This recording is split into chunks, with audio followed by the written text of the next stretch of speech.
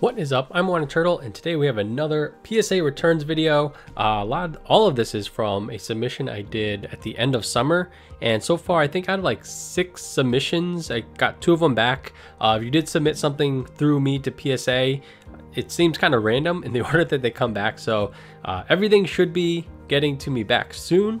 Uh, but what came back is a pack uh, submission as well as a bulk order. So we have 98 items total and um, the patron ones are not yet back. So these are all just for myself and starting off with some pack uh, grades. And so this is a VMAX pack that came in the Eevee Heroes special. I think it came, came with like a handful of packs and then one of these VMAX packs. I think it just has like one of each uh, evolution, not alt arts or anything like that. Um, and there's a couple different VMAX things. I'm actually not sure how to tell difference, but this one's clearly the S6A for Eevee Heroes, and it's only got a 9, which, I mean, prefer 10, but all this pack only has VMAX on it, doesn't even have an art, so no worries there. But then we did send all of the Eevee Hero packs, um, so we do have some 10s, which is awesome.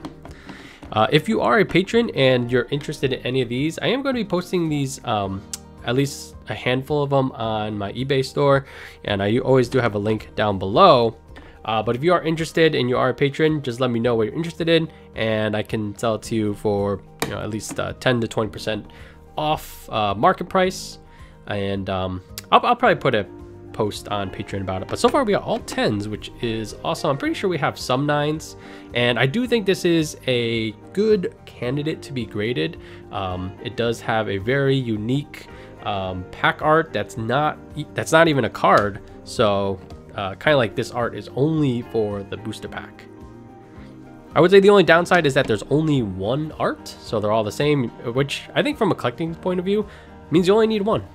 All right, so we do have at least one nine.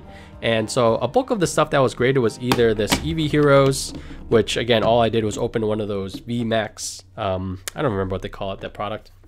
And then we went to Generations. So I did submit a handful of each pack art. We do got a 10 on the Charizard, which is awesome. So a couple things. This service is not cheap. It costs $30 per pack, uh, but the case is very nice, uh, very thick. It kind of reminds me of, um, compared to like the regular PSA card slab, how like BGS is just very thick. It's like, oh, wow, the card is, not that the PSA is not protective enough, uh, but it's like, wow, that card's really in there. Um, that's what this reminds me of, but obviously the pack is bigger and the older style, they would like fold the thing down, which was very bizarre in my opinion. Uh, so long story short, the case feels great. I really like it. I think this is a great display piece for any, um, I don't know, I'll probably branch off into other sets, but it is not cheap. And I have no idea how to tell like, oh, looking at the before you submit, it's like, okay, this will get a nine, this will get a 10. I'm sure there's some method to it, but it's very unclear to me. I don't know, like maybe there's like a crease here or something. But um, yeah, so we do have some nines, a good amount of tens, which I'm happy about. Ooh. And again, if you are a patron interested in something, just let me know. Got a bunch of stacks. So 98 items total, just shy of 100. Uh, but I didn't want to wait for the next batch to come in. Actually, I, I do did get an email today about one another order, which some of the items got upcharged. They were not any of the patrons, just my stuff. Uh, so another batch should be coming shortly. We're on to the Blastoise pack art.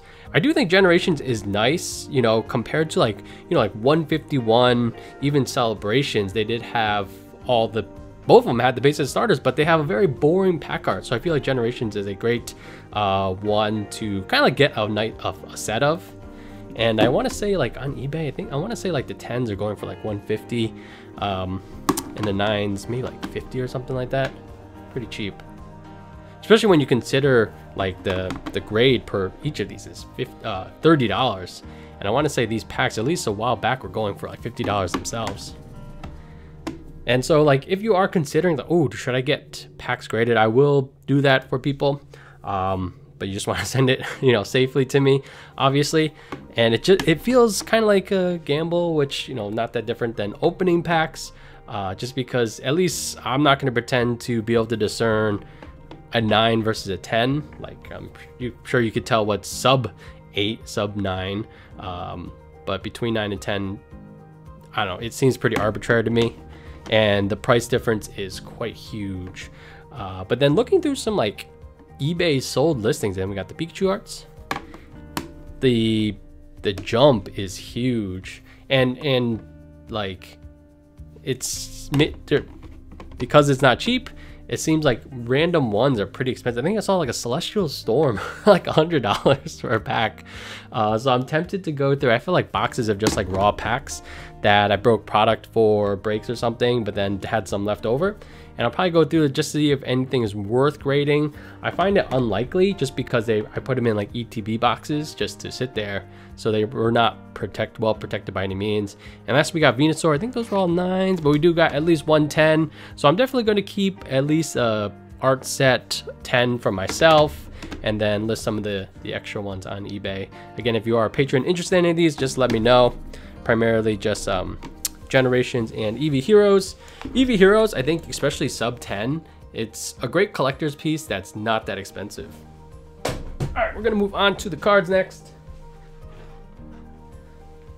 So nothing too insane here. Nothing actually got upcharged, which is good, but also means there's nothing too crazy as far as like value goes. So a lot of these are from Obsidian Flames, as you can see.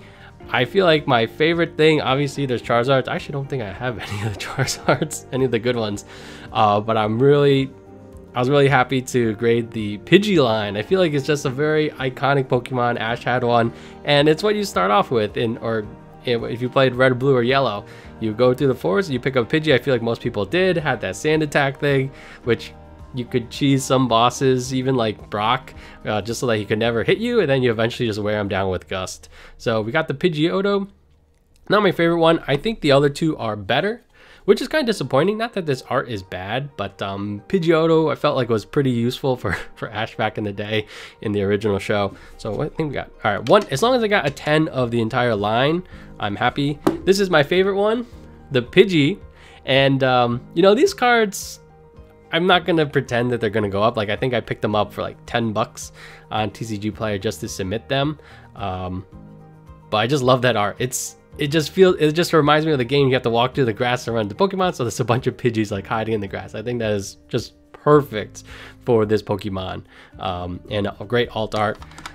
One thing about PSA, so yeah, it took I guess like more than three months. It, it was never fast to begin with. It's still not fast.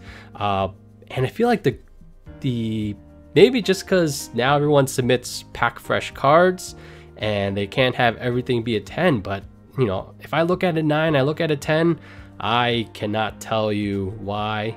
Actually you know what it might be? I typically look at the back to look for centering and i don't know i could be convinced if this side looks a little thicker than that and maybe that's what did it.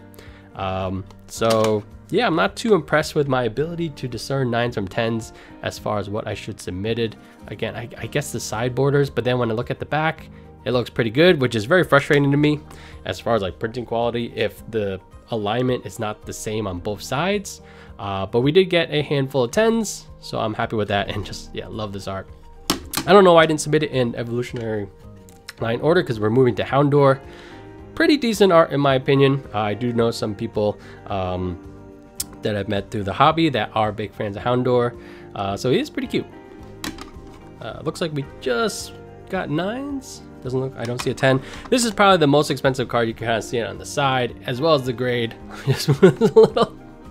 Uh, so we did submit a gold star Charizard. It is only a two though, so I didn't even get upcharged for that, which I guess is nice. And uh, yeah, you can see plenty of wear.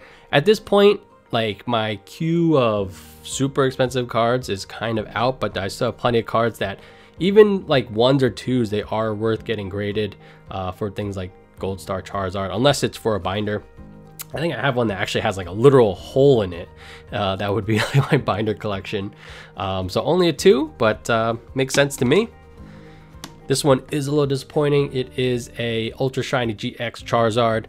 Um, I don't know. I, this might be one that I did crack. Actually, no, I think I can tell that this is different. So this must be one that still had raw. Uh, only got the nine.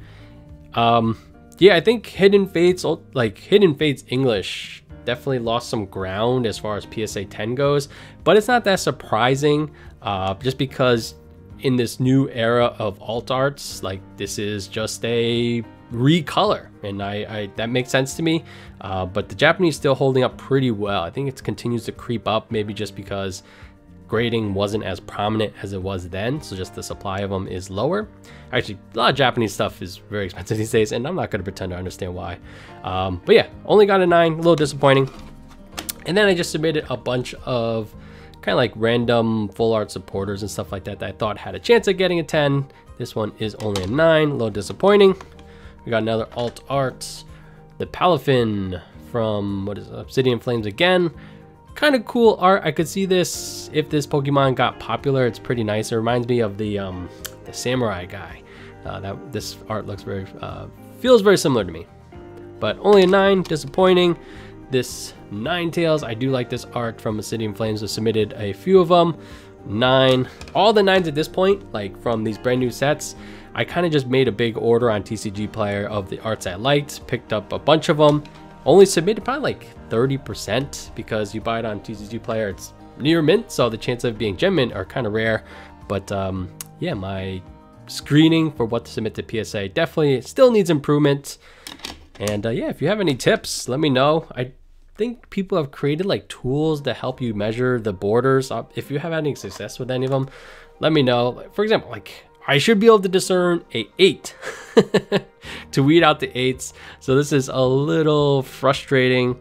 Um, yeah, definitely, I think anything modern that's not like the main chase card, if you get an 8, uh, unless there's sentimental value behind the card, you're kind of not getting enough bang for your buck as far as the grading service.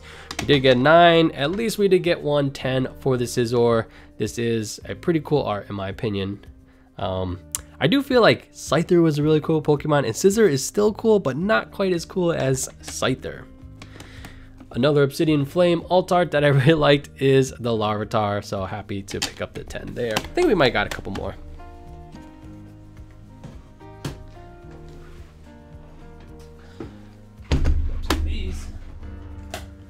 So similar deal, if you are interested in any of these and you are a patron, uh, just let me know. These are less likely to go up on eBay um, just because I don't think there's a ton of value in them. So we did got another Larvitar. This one's only a 9. Got a couple of these. Ooh, I guess Larvitar is pretty tough. All right, three nines, only 110. Very cute alt art. Just running low on space in front of me. I did grade a Lechonk, not a Pokemon that I'm particularly have much affection for, but I did think that art is pretty cute. I feel like, I don't know, seems like Pokemon does like the Lechonk. I think they use Lechonk for like a GameStop promo or something. And for whatever reason, the Pidgeot is pretty far back in the submission. Um, not the most amazing art. I do like how they have these routes. I don't remember all the routes in the game. Is this like the like the bike path one, the cycling road or something? I don't know. But solid art, not as good as Pidgey. I would say better than Pidgeotto though. But this one, at least I did do pretty good. Another 10 right there. And then we did get one 9. All right, moving back in the past a little bit, we got Crown Zenith. I don't think I ever completed this art, but I do like the Riolu, and this one did get a 10. And then we did get submit a Radiant Charizard. For these ones, I just, all right, let's just submit one, looks good, and it does get a 10. It's kind of a great relief um, for these cards that are by no means the chase, but I just appreciate the art. Um, if it gets a 9, it's very disappointing. At that point, to me, it's not worth getting graded or was not worth it. Um, so for those one-offs, the 10s feel good. These tag team 10s, man, I think I like traded and um, sent them to Troll and Toad, a bunch of them. All these like old tag teams. I wish I kept all of them. Uh, even these tin ones. I think I gave like sent to Troll a lot of the Mew, Mew and Mewtwo ones, and oh, that art was so good. Even the the free tin one. All right, here we're going to celebrations. Another time where they reprinted the base set starters, and this one only a mint nine. Very frustrating. I do want a 10 for the collection, and doubt I'm willing to pay the current rate, especially for a card that wasn't that hard to pull, I think. Uh, Snorlax from Sword and Shield, shout out to Pokefan um, Ty. He keeps me up to date on, oh, we'll talk about TikTok in a little bit, but um, whenever there's good TikTok deals going on, we did get the 10 here, very happy. but it is Rainbow. I don't know, Rainbow, I don't think it's ever gonna bounce back and not surprising. I don't expect it to.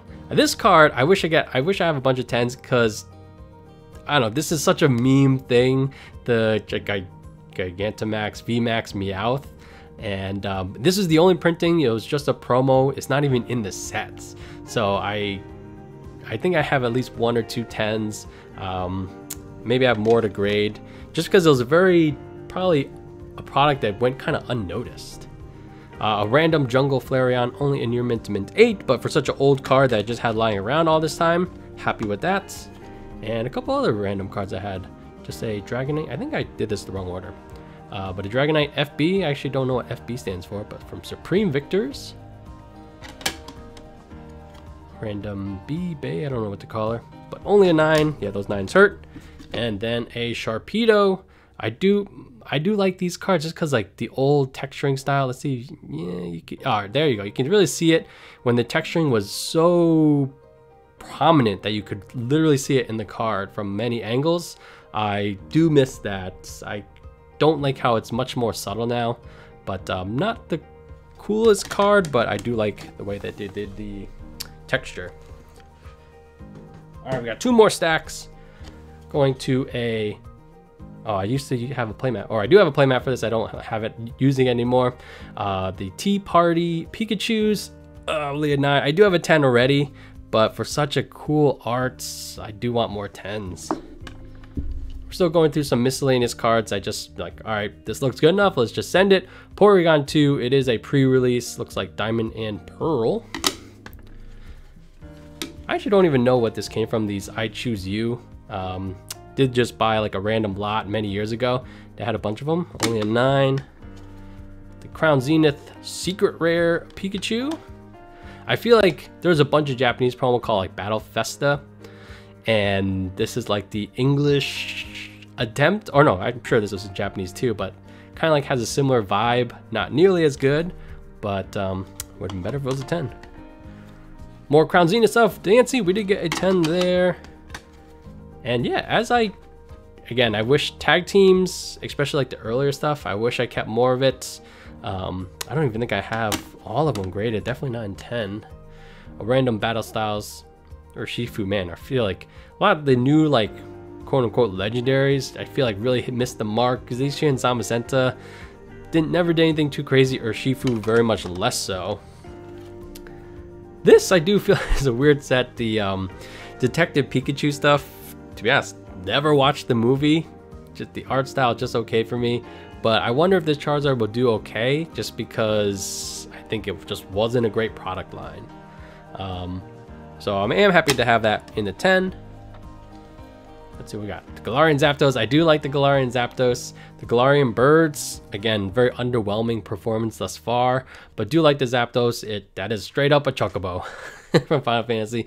Very disappointed on the 8 a very random Expedition Alakazam. Oh, I, I wasn't expecting a great grade, but a 3? Come on, there must be a bend here or something that I didn't notice. Let's see if we can find it using the ceiling fan. I, I yeah. Three is pretty rough. Like, what, what, what is this? Oh, okay, there you go. There it is. It's a three. These are interesting cards. The Legends, um, not that expensive. If you think it's cool, I rec highly recommend you pick them up. Um, you know, binder grade copies. But even like low PSA, like sevens, I bet they're pretty cheap, especially how old they are. Um, and I think they're worth having. Only a five there. Oh, we're gonna talk about TikTok for a little bit. Random pre-release uh, Flygon yeah, shout outs to Ty. Keeps me up to date. It's like, oh, there's a 20% off. And, you know, just compared to like eBay, I think actually I not excited for the new Paldean Fates or whatever it's called, or the Treasure EX. Oh man, first edition too, only a very good three. There must be another like huge dent in the card uh, somewhere that I didn't pick up on.